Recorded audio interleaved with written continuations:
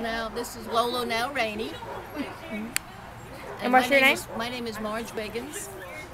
And where are you from? I'm from Concord, North Carolina. And Donna did your original interview, right? That's right. Thank you. There you go.